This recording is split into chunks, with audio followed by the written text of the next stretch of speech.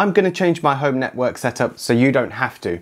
I've been using a UniFi setup for a little while now and I want to give it a change and I'm going to give TP-Link a try. This is the Omada system.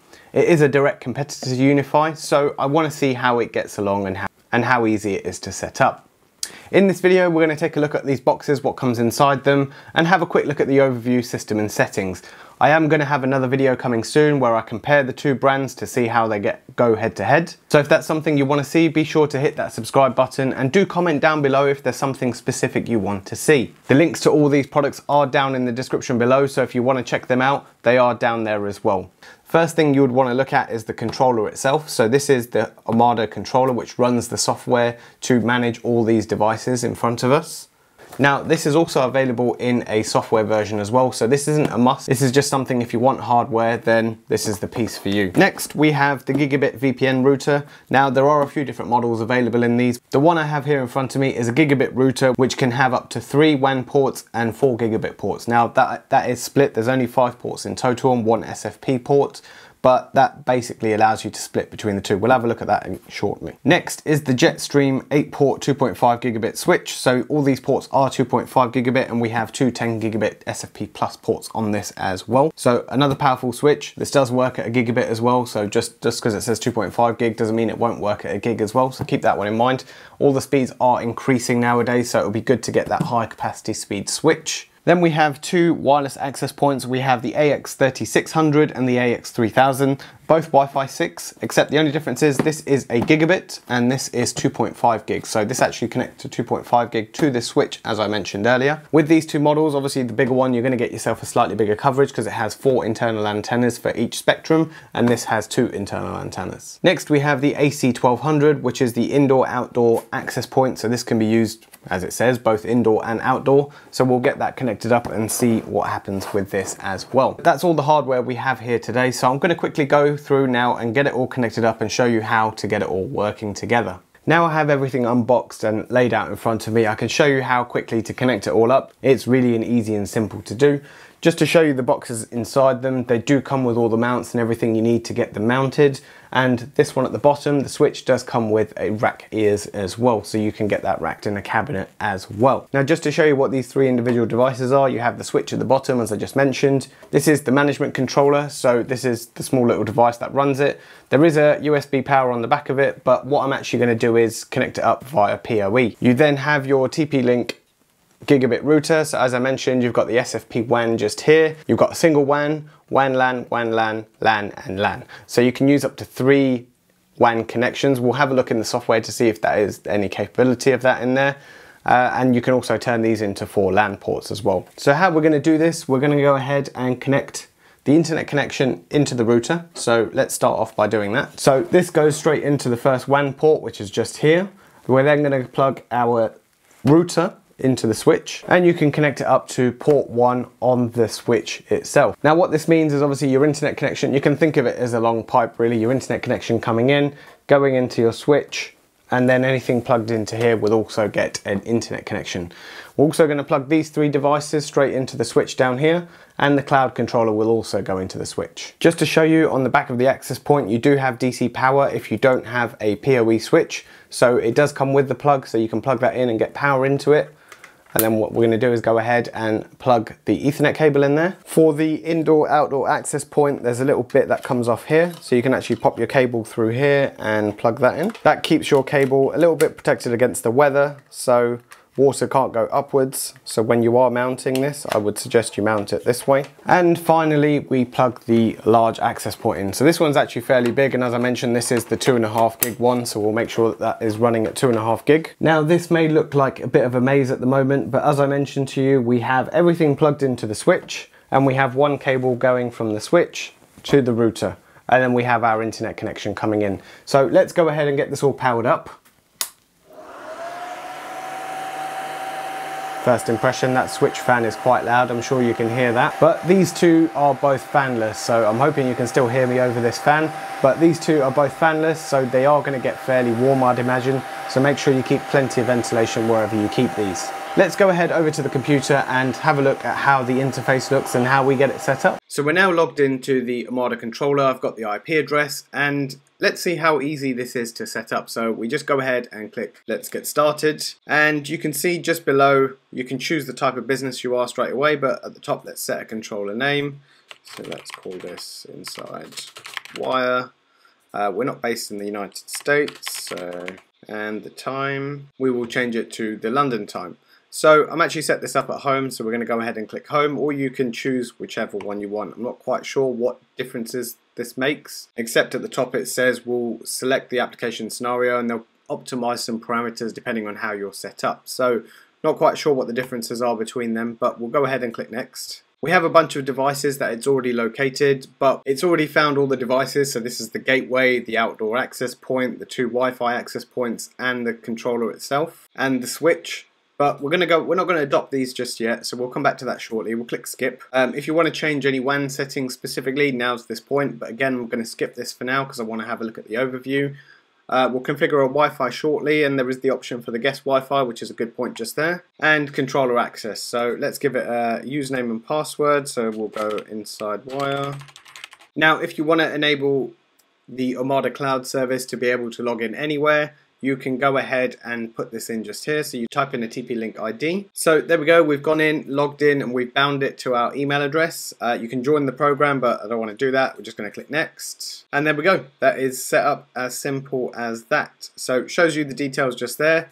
Click finish. So here it just gives you a quick overview of the system and how to get around and work the interface. We just click the little X in the top right hand corner and here we are. So let's have a little quick look at the overview. So here is the dashboard and it shows you what's connected at the top here, how many devices there are, um, and any associated failures. You have your profile in the top right hand corner, so if you want to make any changes just there.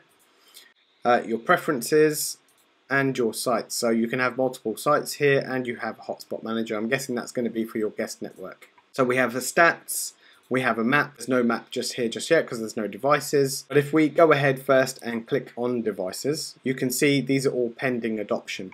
Now, to adopt them, you just go ahead and click the arrow at the top, and we'll go ahead and give that a few minutes and let them adopt in the background. So now we have the devices adopted, we can go ahead and click on them, and you can see down the right hand side you get a, a list of information about it, what's connected, what's not connected, uh, that was the gateway. This is the switch, so we can configure ports on here, the clients, config.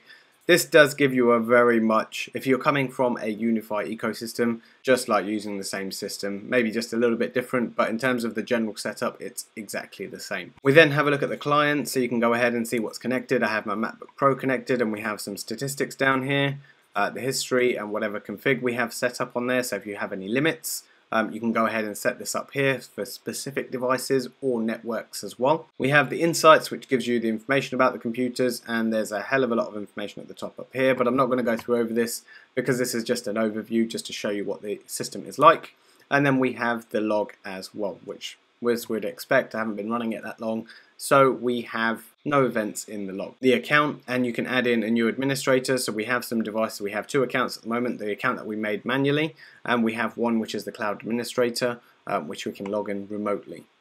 Go ahead now, the main part, we go ahead and have a look at the settings. Down here you have the site configuration and some of the services that are available on here. So we have auto failover, alerts, remote logging, advanced features. We then have the device account, so if you want to update that, that's just down here. We then have the wired connections, so you have the internet and the LAN. So the internet, as I mentioned to you earlier, you have the SFP WAN, WAN, and WAN slash LAN 1. There's a bit of a mouthful, but you have the idea that you can actually set up three different WANs on here as well, which is quite good. Down here is where you would set up your dynamic IPs or your static IPs, wherever you want, you could set them across. The only thing I haven't noticed on here is Still, to this date, they don't have multiple WAN IPs that you can use on here, which is a bit of a bit annoying, but um, Ubiquiti had that for quite a while, and they've just rectified that recently, where you can have multiple WAN IPs. So you have the load balancing options, so you can balance between two internet connections if you do have them. And then the other part is the LAN where you can create multiple networks. So this is where you can segregate out your IoT devices, uh, you can have different Wi-Fi for your kids, so you can have parental controls on there, and you get that created just here. We then have the wireless networks where you can go ahead and create your SSIDs, so we can go ahead and create an inside wire, for example. Uh, WPA, you have 2.4 gigahertz and 5, so you can have that. You have the guest network available, so you can go ahead and create a guest portal, so you can give guest access. You can go ahead and set up a schedule on here, so you can get your timing. So you can, again, if you have a kid's Wi-Fi, for example, you can go ahead and just give them time at a specific point. Um, we'll go ahead and click apply on here and just get that created. So that's going to go off on provision now. We have the network security. So we have, there's three different layers of security you could have on here in terms of the access control list. It's quite easy and simple to do in terms of creating firewall rules. Creating the rule is quite simple. You just type in the name, you permit or deny, you choose the protocol, and then you go from network or IP group or port to another IP group or port. Now I don't have a secondary network connection up, but you could see network to network and then this could be your IoT devices. We then move on to URL filtering where we have a look and you can create some rules here to do some deny or permits on specific URLs. So you can go ahead and choose the type of network, permit or deploy again, or IP group. So if you want a specific IP, you can do that. Uh, the network that you want to apply it to, and the network URL. So for example, if we just choose to do facebook.com, uh, we can go ahead and block that. So let's go to Facebook and click apply. And then that will go ahead and you can see that denies Facebook. And then we have the transmission area, so we can have a look at the routing and the NAT control and bandwidth. Uh, VPN, we can go ahead and create VPN policies just here. We have the profiles that we mentioned earlier, so you can create time limits on how long they can use the network for, which you can set up just here. We then can create groups to make it easier to apply the firewall rules to. And then we have the bandwidth limits that, that we also spoke about as well, where you can go ahead and set a limit to how much data they can use. Under authentication, you have the portal, so you can go ahead and create your guest portal from here, and you can have multiple of them if you need to. And then we have the more technical advanced, so 802.1x, MAC-based authentication, and the radius profile as well. We then have a list of services, so DHCP reservation, dynamic DNS, you can go ahead and create that.